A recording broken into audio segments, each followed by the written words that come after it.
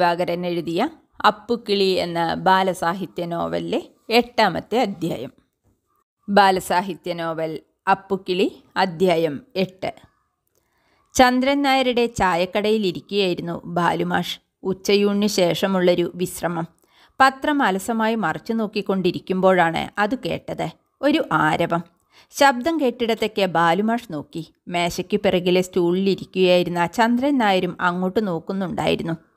ഗ്രൗണ്ടിൽ കളിച്ചുകൊണ്ടിരുന്ന കുട്ടികൾ പെട്ടെന്ന് സ്കൂൾ ഗേറ്റിലേക്ക് ഓടുന്നത് കണ്ട് ചന്ദ്രൻ നായർ ചോദിച്ചു ഇന്നെന്താ മാഷേ സ്കൂളിന്റെ ഗേറ്റിൽ പതിവില്ലാണ്ടൊരു ബഹളം? ബാലുമാഷും ശ്രദ്ധിച്ചത് അതുതന്നെയായിരുന്നു ഗേറ്റിനരികെ ഒരു പറ്റം കുട്ടികൾ കട്ടകുത്തി നിൽക്കുന്നതും ബഹളം വയ്ക്കുന്നതുമല്ലാതെ മാഷുക്ക് മറ്റൊന്നും കാണാനായില്ല. ഞാനൊന്ന് പോയി നോക്കട്ടെ കുട്ടികൾ എന്ത് ഏടാകൂടാ ഒപ്പിച്ചെടുത്തണെന്ന് അറിയില്ലല്ലോ. അതെ അതെ. വേഗം ചെല്ലുക. ബുദ്ധി ഉറക്കാത്ത വഹകളാ. ഇന്നതേ ചെയ്യുന്നില്ല. ഒന്ന് അന്വേഷിക്കണത് നല്ലതാ. ഗേറ്റിലെത്തേണ്ടി വന്നില്ല. അതിനു മുമ്പേ ബാലുമാഷ് കണ്ടു. കുട്ടികളിൽ ഒരുവനെ മുമ്പിൽ നടത്തി മറ്റുള്ളവർ ഒരു ഘോഷയാത്രയായി സ്കൂളിലേക്ക് കയറുകയാണ്. പല വർണത്തിലുള്ള വെട്ടു തുണിക്കഷ്ണങ്ങൾ കൊണ്ട് തുന്നിയുണ്ടാക്കിയ കാലറ്റം വരെ ഇറങ്ങിക്കിടക്കുന്ന കുപ്പായം ഇടിയിച്ചാണ് മുമ്പിൽ നടക്കുന്നവനെ ആനയിക്കുന്നത്. അവന്റെ തലയിൽ നെറുകയിൽ ഇത്തിരി മാത്രം നിർത്തി ബാക്കി മുടിയൊക്കെ വടിച്ചു കളഞ്ഞിരിക്കുന്നു. എക്കും പൊക്കും നിറഞ്ഞ തലയിലെ മിനുസമാക്കിയിടത്തേക്ക് നെറുകയിൽ പൊന്തി നിന്ന മുടിയിഴകൾ ഇളം കാറ്റിൽ മറിഞ്ഞു വീഴുന്നതും വീണ്ടും കാറ്റിൽ ഇളകുന്നതും ബാലുമാഷ് കണ്ടു. ആകപ്പാടെ ഒരു കോമാളി വേഷമായി അയാൾക്കത് തോന്നി. ആ വേഷം ആസ്വദിച്ചുകൊണ്ടാണ് കുട്ടികൾ ബഹളം വയ്ക്കുന്നത്. പുറത്തെ ബഹളം കേട്ട സ്റ്റാഫ് റൂമിൽ നിന്ന് മറ്റ് അധ്യാപകർ സ്കൂൾ വരാന്തയിലേക്ക് ഇറങ്ങി താല്പര്യപൂർവം സൂക്ഷിച്ചു നോക്കുന്നുണ്ടായിരുന്നു. അല്ല ആരപ്പത് നമ്മുടെ കണ്ണനല്ലേ? അല്ല നിക്ക് തെറ്റി. എന്താപ്പോ എന്റെ ആ പുതിയ പേര്? കണ്ണന്റെ ശകാരപ്പേരായി മാറിക്കഴിഞ്ഞ അപ്പുക്കിളി എന്നത് കുട്ടിക്കൃഷ്ണൻ മാഷിക്ക് ഓർമ്മ വന്നില്ല. ആരോ അത് ഓർമ്മിപ്പിച്ചപ്പോൾ രസിച്ച മട്ടിൽ കുട്ടിക്കൃഷ്ണൻ മാഷ് തുടർന്നു. അതെന്നെ അപ്പുക്കിളി. ഓന്റെ ഇപ്പളത്തെ വേഷം കേമായിട്ടുണ്ടേ. കണ്ണപ്പെടാണ്ടിരിക്കാൻ കായ്ക്കറി കണ്ടത്തിൽ നിർത്താൻ പറ്റുപ്പ അവനെ. കരിങ്കണ്ണാന്നൊക്കെ എഴുതി ഒരു ബോർഡും കൂടി ആ കഴുത്തിൽ അങ്ങോട്ട് തൂക്കുക വേണ്ടു. എന്നാ ഒക്കെ തികഞ്ഞു. തന്റെ കട്ടിക്കണ്ണടയ്ക്കുള്ളിലൂടെ നോക്കിക്കണ്ട് കാഴ്ച രസിക്കുന്നതിനിടെ കുട്ടിക്കൃഷ്ണൻ മാഷ് പിന്നെയും എന്തൊക്കെയോ പറയുന്നുണ്ടായിരുന്നു.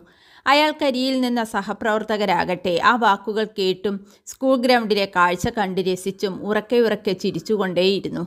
തന്റെ സഹപ്രവർത്തകർ സ്കൂൾ വരാന്തയിൽ നിന്ന് കാഴ്ച കണ്ട് രസിക്കുന്നതും പരസ്പരം തമാശകൾ പറഞ്ഞു ചിരിക്കുന്നതും ബാലുമാഷും കാണുന്നുണ്ടായിരുന്നു. അയാൾ അവരെ ഗൗനിച്ചതേയില്ല. അല്ലെങ്കിലും അവരങ്ങനെയാണ്. കുട്ടികളോടോ അവരെ നേർവഴിക്ക് നടത്തേണ്ടുന്നതിൽ തങ്ങൾക്കുള്ള ഉത്തരവാദിത്വത്തിനോടോ തീരെ ആത്മാർത്ഥതയില്ലാത്തവരാണവർ. ശമ്പളക്കാര്യത്തിൽ മാത്രം ശ്രദ്ധ കാണിക്കുന്ന വർഗം മാഷ് മനസ്സുകൊണ്ടവരെ പുച്ഛിച്ചു. ആ കോമാളി വേഷം കെട്ടിയ കുട്ടി ആരാണ്? അപ്പോഴും അത് ആരാണെന്ന് ബാലുമാഷക്ക് മനസ്സിലായിരുന്നില്ല. അതുകൊണ്ട് കുട്ടികളെ വകഞ്ഞു മാറ്റി സൂക്ഷിച്ചു നോക്കിയ ബാലുമാഷ് ആളെ തിരിച്ചറിഞ്ഞപ്പോൾ ഞെട്ടിപ്പോയി. കണ്ണൻ പല നിറത്തിലുള്ള വെട്ടുകഷ്ണങ്ങൾ ചേർത്ത് തയ്ച്ചുണ്ടാക്കിയ കാലറ്റം വരെ എത്തുന്ന കോമാളിക്കുപ്പായവും അണിഞ്ഞ് കുട്ടികൾക്ക് മുന്നിൽ തല ഉയർത്തി കണ്ണൻ അങ്ങനെ നടന്നു നീങ്ങുകയാണ്. ഒപ്പം കൂടിയവർ ഒച്ച എടുക്കുന്നുണ്ടായിരുന്നു.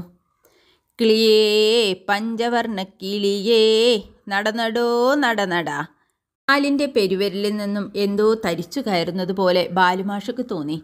കണ്ണനെ കുറിച്ചോർത്തപ്പോഴാകട്ടെ മാഷയുടെ കണ്ണുകൾ നിറയുകയും ചെയ്തു. ആരോ വേഷം കെട്ടിച്ച് വിട്ടതാണ് അവനെ. അത് ബാലുമാഷക്ക് ഉറപ്പായിരുന്നു. സ്വമേധയാ കണ്ണൻ ഇങ്ങനെ ചെയ്യാൻ സാധിക്കില്ല. എന്താ കണ്ണതൊക്കെ നീയേ. കണ്ണന്റെ മുന്നിലേക്ക് ചാടിക്കയറി അവനെ തടഞ്ഞു നിർത്തുമ്പോൾ അത്രയും ചോദിക്കാനേ ബാലുമാഷക്ക് സാധിച്ചുള്ളൂ. അപ്പോഴേക്കും മാഷുടെ തൊണ്ട ഇടറിയിരുന്നു. ബാലുമാഷെ കണ്ടതും ആ മുഖത്തേക്ക് നോക്കി നിഷ്കളങ്കമായി ചിരിച്ച കണ്ണൻ ചോദിച്ചു മാസേ എന്റെ ഉതുപ്പ് കണ്ടോ? നല്ല പാങ്ങില്ലേ? ആ ചോദ്യം കൂടി ആയതോടെ മാഷക്ക് സഹിച്ചില്ല. കണ്ണന്റെ കരണക്കുറ്റിക്ക് അടിക്കാനായി മാഷ് കൈയുയർത്തി പക്ഷേ പെട്ടെന്ന് നിയന്ത്രിച്ചു. കണ്ണൻ പാവമാണ്. അവൻ ചെയ്യുന്നത് എന്തെന്ന് അവൻ അറിയുന്നില്ല അവനെക്കൊണ്ട് ആരോ ചെയ്യിക്കുന്നതാണ്.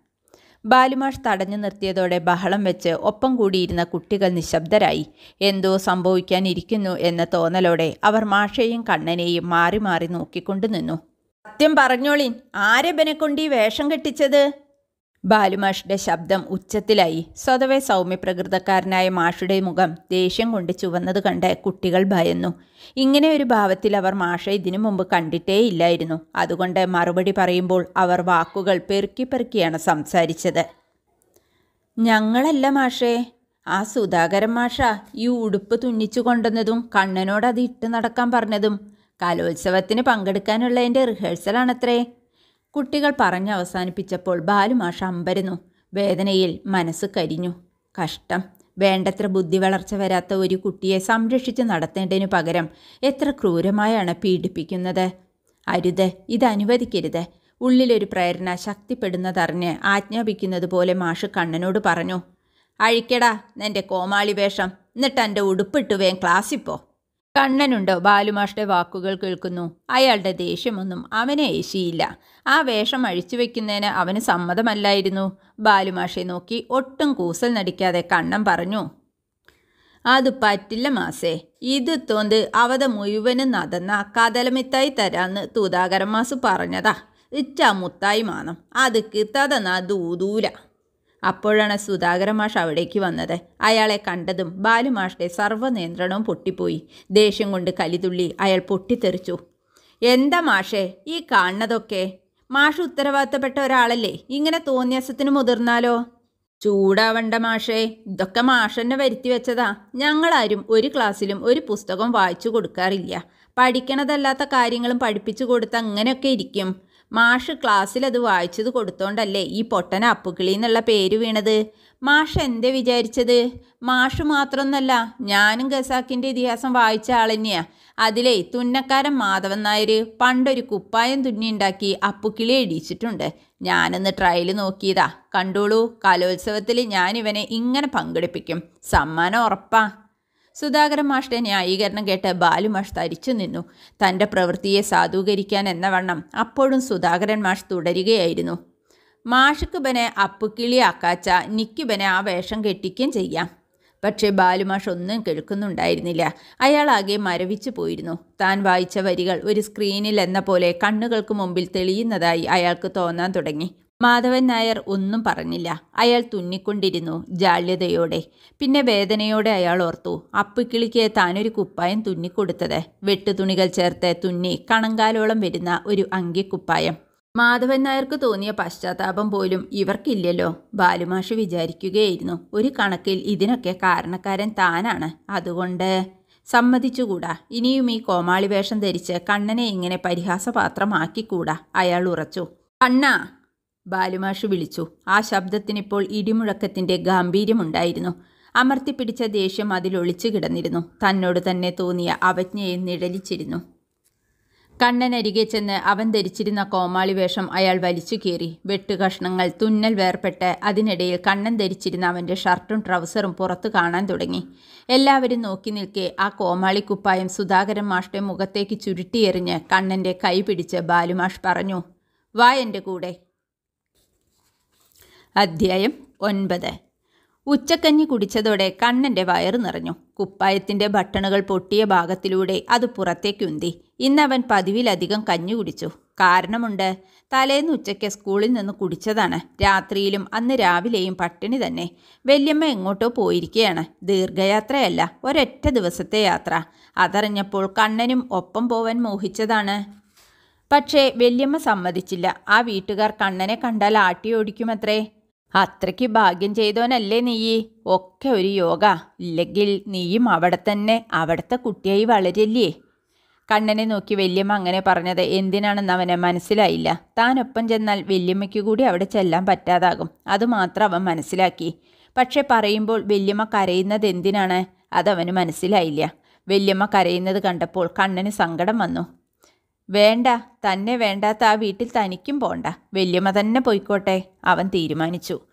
എന്നാൽ വല്യമ്മ പോയതുകൊണ്ട് പട്ടിണിയിലായത് കണ്ണനാണ്. കഴിക്കാൻ വീട്ടിലൊന്നും ഉണ്ടായിരുന്നില്ല. സ്കൂളിലെ കഞ്ഞി കുടിച്ചു കഴിഞ്ഞപ്പോഴാണ് വിശപ്പിനൊരു ശമനം വന്നത്. വയറിൽ നിന്നും ഉയർന്നിരുന്ന ചൂളം വിളികൾ അടങ്ങിയതോടെ നേരിയൊരു മയക്കം തോന്നിത്തുടങ്ങി.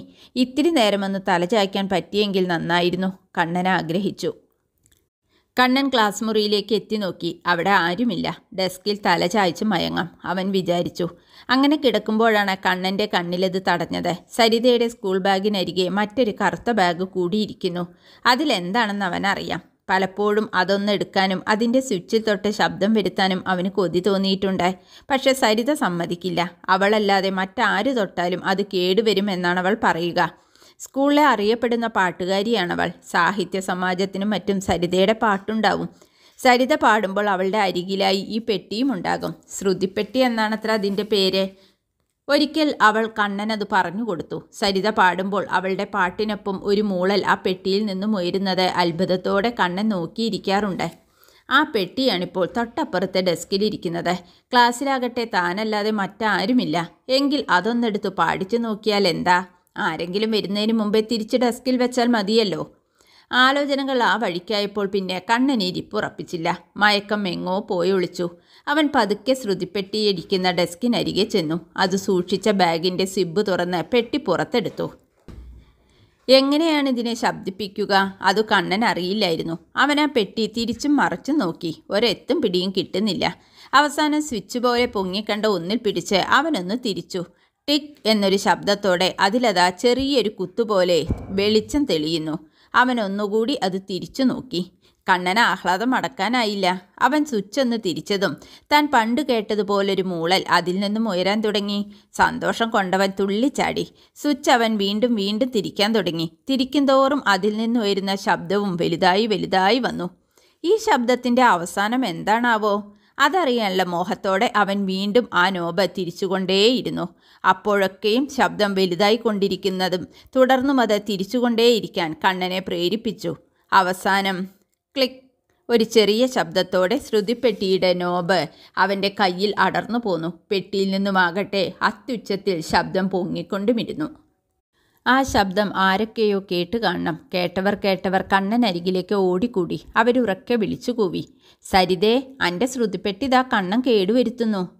യൂത്ത് ഫെസ്റ്റിവലിന് അവതരിപ്പിക്കാനുള്ള പരിപാടികളുടെ റിഹേഴ്സലിലായിരുന്നു സരിത.